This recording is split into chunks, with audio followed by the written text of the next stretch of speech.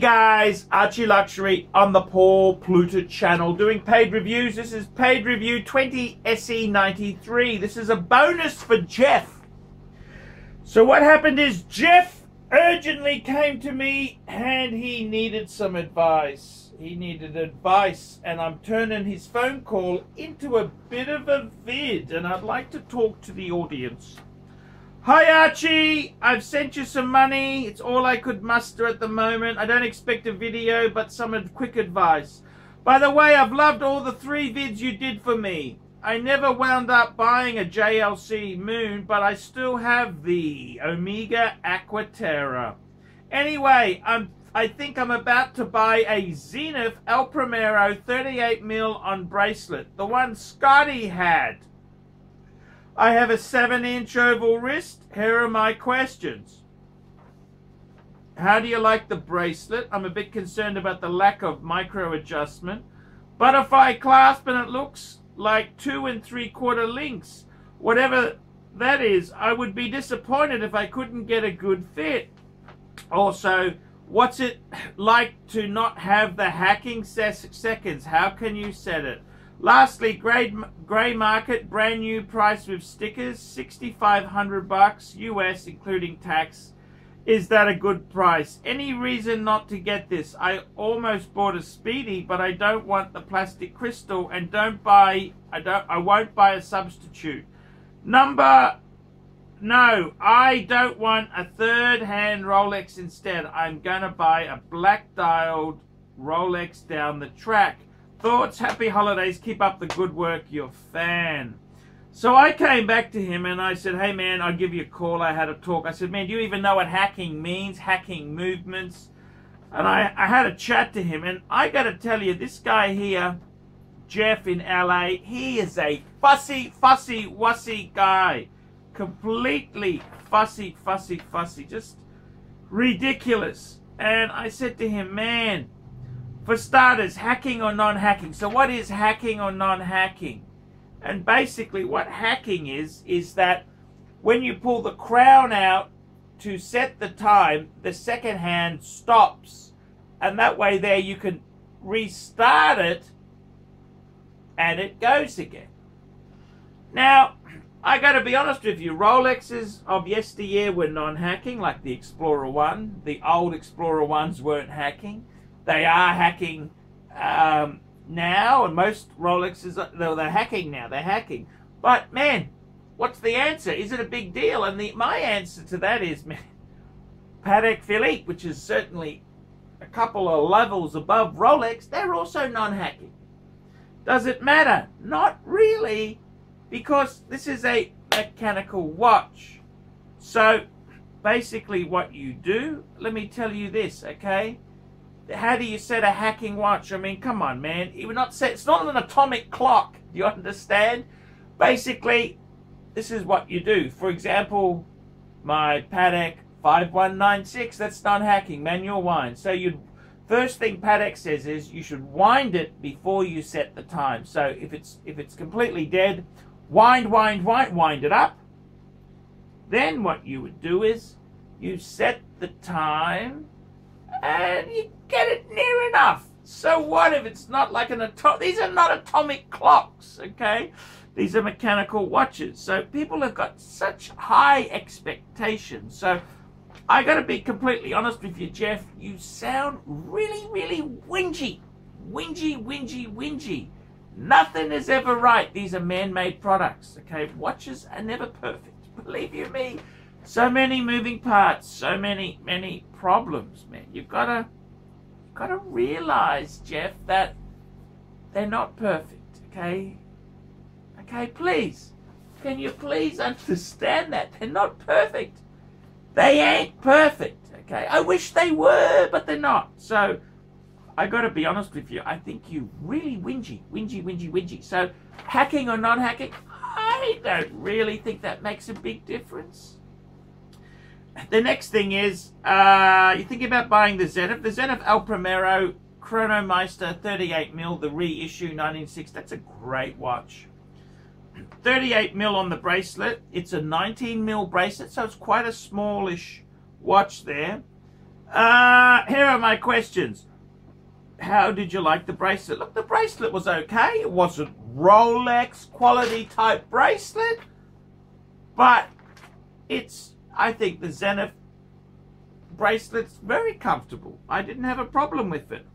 I'm a bit concerned about lack of micro adjustment. Well, man, what you do is it's like anything, you know, you make it a bit big.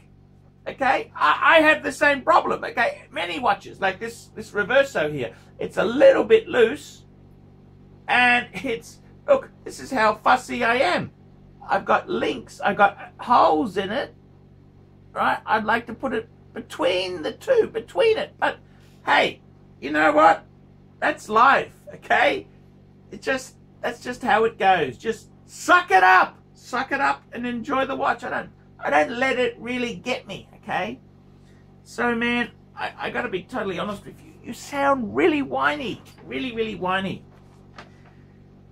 so that's what I think there. You said um, the butterfly clasping. Oh, did it? It just just just I I would be disappointed if I couldn't get a good fit. Man, you just have it a bit loose and your body swells a bit in the heat. Man, just stop being a...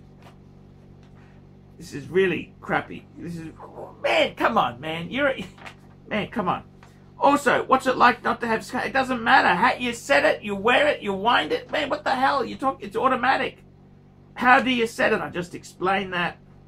Lastly, grey market, brand new. He said six and a half. Look, my advice to you, if you want to know is this a good deal or a bad deal, jump on Chrono 24.